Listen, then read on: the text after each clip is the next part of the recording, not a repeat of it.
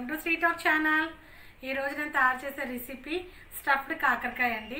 First of all కాకరకాయ అంటే అమ్మో చేదు అందరూ అంటారు.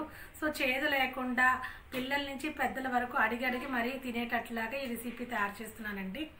సో తయారీ విధానం అంతా చూసి వీడియో మీకు నచ్చితే లైక్ చేయండి షేర్ చేసి మన ఛానల్ని సబ్స్క్రైబ్ చేయండి. మరి లేట్ ఎందుకు తయారీ విధానం చూద్దామా? కాకరకాయలు మనము ఇలాగా మధ్యలో చక్కగా చీర్చుకొని పిక్కలు తీసేయాలండి. ముదర పిక్కలు అన్నీ తీర్చే తీసేయాలి. లేత పిక్కలు అయితే మనం ఉంచేసుకోవచ్చు. అన్నీ ఇలా మధ్యలో మనం కట్ చేసుకుని పెట్టుకోవాలి. ఒక కప్పు చింతపండు వాటరు ఒక కప్పు ఆయిల్ పడుతుంది. చిన్న సైజు ఉల్లిపాయ రెండు పచ్చిమిరపకాయలు కొంచెం చిన్న అల్లము గార్లిక్. జీలకర్ర పసుపు కారం సాల్ట్. ఒక హా ఒక చిన్న కప్పుతో శనగపిండి. తయారు చేసే విధానం చూద్దాం. స్టవ్ వెలిగించుకొని మనం ఈ కప్పు చింతపండు వాటర్ వేద్దాము. ఈ కాకరకాయలన్నీ కొంచెం మనం హాఫ్ బాయిల్ ఒక త్రీ మినిట్స్ చేసుకుందామండి. టూ త్రీ మినిట్స్ చేసుకుంటే సరిపోతుంది. చింతపండు వాటర్ కొంచెం పులుపు పట్టి టేస్ట్ వస్తుంది. కొంచెం సాల్ట్ వేసుకుందాం.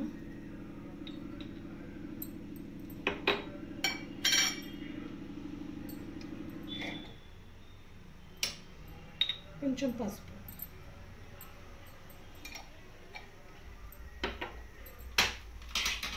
కొంచెం వాటర్ వేసుకుందాం. ఇది ఒక త్రీ మినిట్స్ మనం బాయిల్ అవ్వనిద్దాం.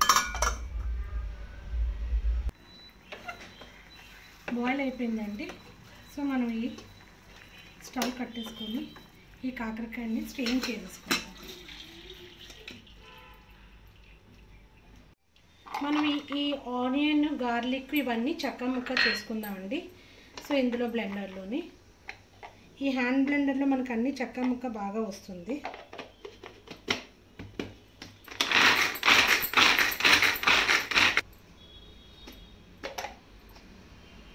చూసారా? చెక్క ముక్క అయిపోయింది.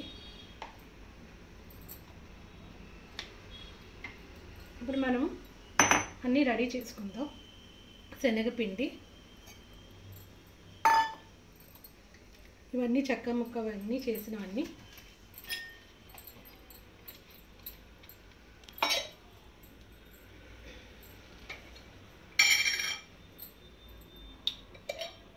కొంచెం కారము.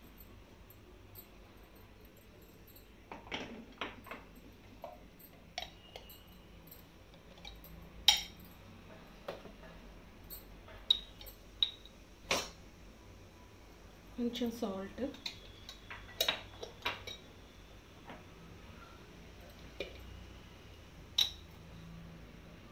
కొంచెం జీలకర్ర.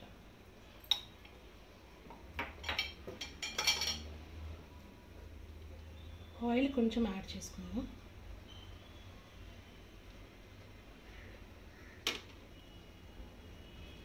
సో ఇది బాగా ఫైన్గా కలిపి పెట్టుకుందాం మనం ఇవన్నీ చక్కగా ఆ అల్లం వెల్లుల్లిపాయ ప- ఉల్లిపాయ వేసినవన్నీ చక్కగా ఇలా కలిపేసుకోవాలి. వాటర్ లేకుండా కలుపుకుందామండి మొత్తం. ఆయిలే వేసుకుంటే రెండు స్పూన్స్ సరిపోతుంది. వాటర్ అసలు యూజ్ చేయకూడదు. ఇలా చక్కగా బాల్స్లో మనం చేసుకుని పెట్టేసుకోవడమే. మధ్యలో స్టఫ్ చేయడానికి ఇలా బాల్స్లా చేసేయాలి. ఇలా మనం మధ్యలోని స్టఫ్ చేసుకోవాలి కాకరకాయల్లోని. ఆ చింతపండు వాటర్లో మనము ఉడికించడం వల్ల చేదు అంతలా తగలదండి. ఇది మనం స్నాక్స్ లాగా తినేయచ్చు. అసలు మ్యాక్సిమం చేదే ఉండదు. ఇలా స్టఫ్ చేసుకోవడమే.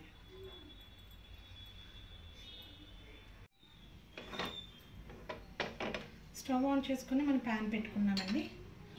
ఇలా వేసుకుందాము. ఎక్స్ట్రా ఆయిల్ ఉంటే మనం తర్వాత తీసేసుకోవచ్చు. ఇది సన్న మన్న మంట మీద మనం వేగనిద్దామండి.